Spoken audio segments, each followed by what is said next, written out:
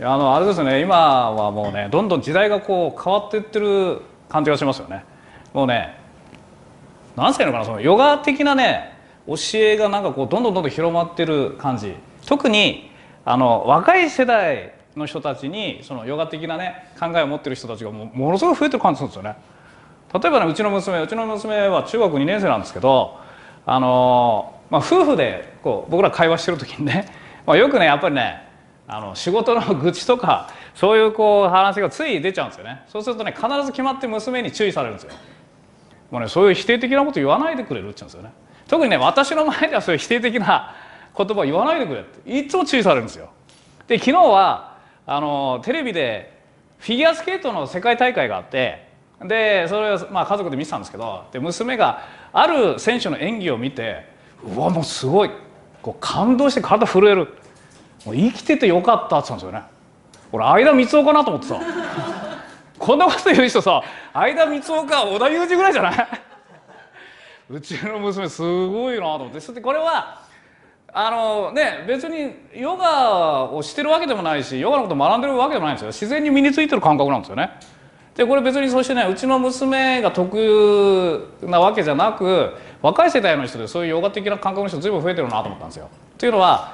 あのこれはテレビ見てての話なんですけど朝のテレビの情報番組であの高校のねラグビー部が3年ぶりに全国大会に出ることができてそしてその初戦で格上の間ねあのどう考えても勝てっこないような相手を倒したということでちょっと話題になってそしてなんでそうやって強くなれたかというとそれをねすごくユニークな特殊な取り組みを生徒たちがしてたからなんですよ。なんか 3S 運動っつって分かります ?3 つの S がつくことを毎日毎日やろうこれはね整理整頓掃除？整理整頓掃除を徹底的にやろうだからそのねあるそのあのチームの中のある生徒がねこのままで俺は強くなれない。なんとか強くなるためによしこうしよう、ね、3つの S だ。整理整頓掃除毎日やろうって言ったらチームメイトが「そうだそうしよう」ってなったんですよねきっとね。でその整理整頓掃除ね。例えばその物質に靴をこう並べる時あるいはカバンを置く時にもうミリ単位で揃えようっていうんだって。1ミリでもずれてたらダメだっって。もう徹底的にだからもう綺麗に並べようなんですよね。だからその物質もテレビで出てましたすごい綺麗でしたよ。僕サッカー部だったんですけど僕のサッカー部の時の物質なんてもう汚いってもんじゃないですからね。もうはっきり言ってトイレより臭かったですからねうちの物質ね。全然違うんですよ。そしてあのもちろんだからグラウンドねその練習が終わった後もみんなでだからゴミ拾いしていつもきれいにしておくっつって。そしたらどんどんどんどん強くなってくるんですよね。ななんでだと思います？そんなことで。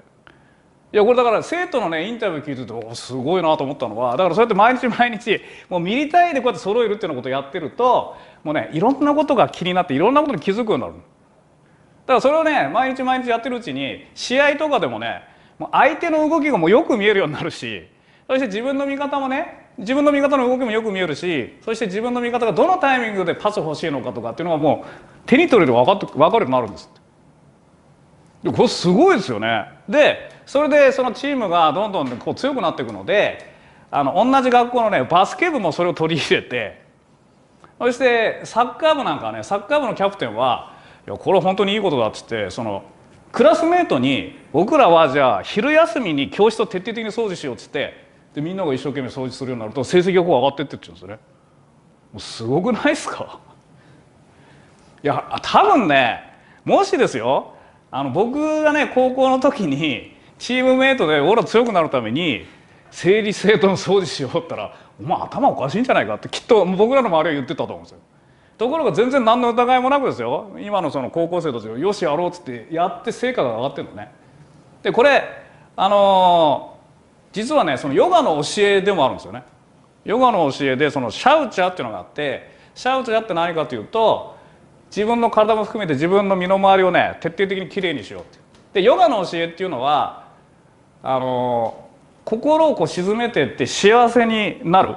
ていう実践法がいっぱいあるんですよね。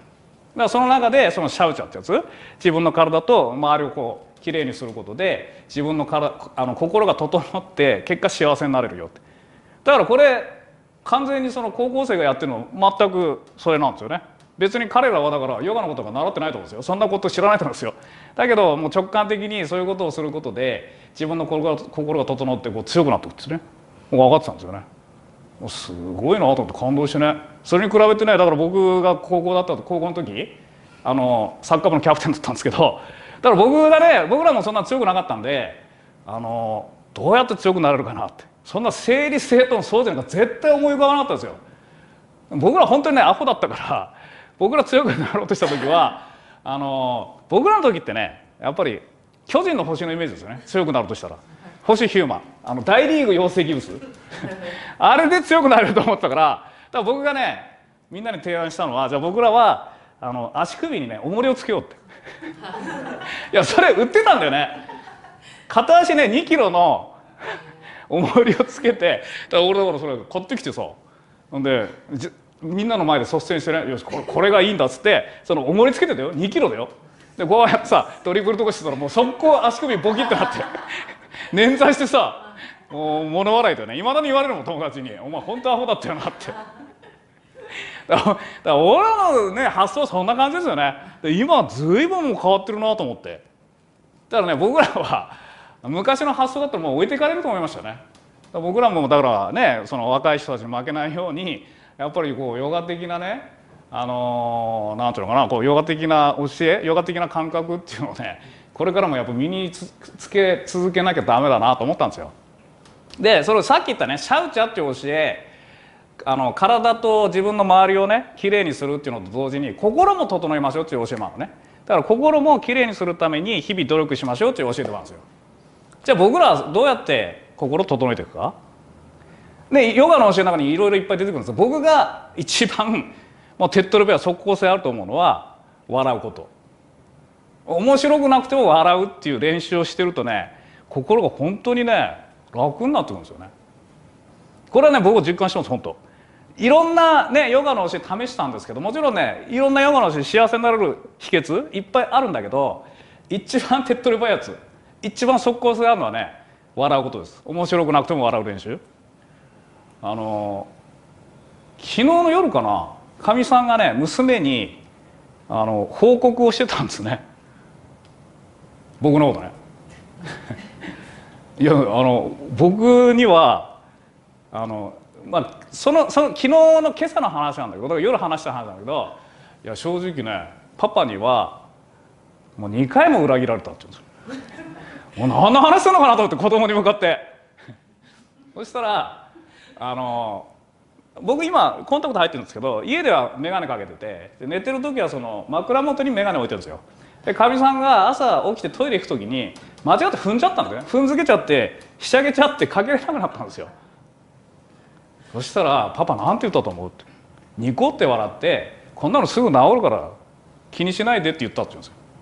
そしてその後午前中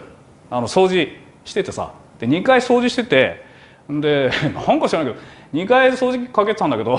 掃除機を階段からゴロゴロゴロって落としちゃったんだよね。その時パパなんて言ったと思うって。ニコって笑って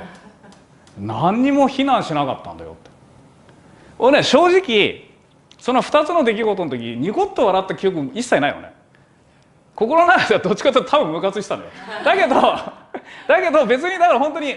あのそんな別になんか文句言ったりしなかったよ、うん、確かにだから眼鏡の時はいやこんなの別に大丈夫だよみたいな話はしたのは覚えてるのね。でニコッとしてないのよ。だけどかみさんの中ではいつもだからそのね家の中でも面白くなくてもニコニコ笑ってかみさんと目が合ったらもニコニコ笑うっていう訓練をしてますから かみさんの中ではあこの人はねどんな嫌なことあっても笑ってる人なんだって勝手にだから先入観で結果かみさんは本当にねよかったっていう話ですよね。うん、本当にだからあの家庭が幸せになってもう私は嬉しいっていう話なんですよ。ただねその後に昔のパパだとこんなことありえなかったっつって昔僕にされたひどい仕打ちの話が永遠に続くっていうね。そこがなかったらねいい話だなと思ったんですけど。あとにかくだからと僕思いましたよね。昔は多分今みたいなことがあった時にきっと多分文句言ってたと思うんですよ。だけど今気にならなくなったよね。でなんでかというといつも面白くなくても笑う練習してるからね。そしたら何かあった時にもうニコって笑う。だからかみさんと目が合ったらニコって笑う。ななんか嫌なことあってもニコって笑うって変なスイッチが出来上がってるから。そしたらね今まで嫌だったり気になってたことがねもう別に大したことじゃなくなって気にならなくなってくるんですよね。こんないいことなくないですか？これはねだから本当にもう一番ヨガの教えの中でもおすすめなんですよ。もう絶対手っ取り早くも変われるから、うん、で、まあ、ここでも今日もやるんですけど、ね、みんなにどんな嫌なことをされ嫌な顔されてもね 自分がいいと思ったことはもうどんどんどんどんみんなに進めていこうと思ってますからもうすごくね効果が高いので別にね心の中でもまたかと思ってても構わないですから またやんのかよみたいなことでもだけど笑うことで脳のスイッチが切り替わっていくのでだんだんだんだんでこれをね定期的にやってると絶対変わってきますからね。ということで じゃ立ち上がってじゃあ早速スキップしながらね 口を大きく開けて大声で笑う。